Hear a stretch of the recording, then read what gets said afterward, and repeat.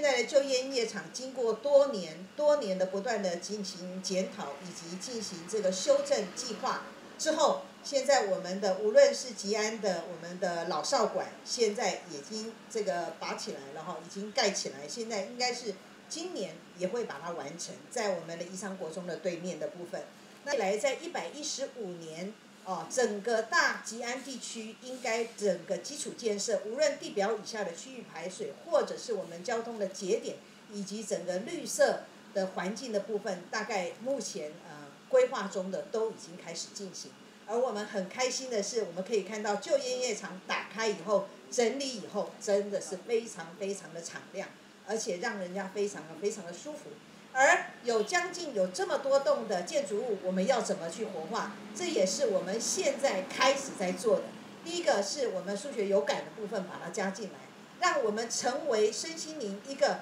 除了运动的场域以外，再加上我们永续的学习。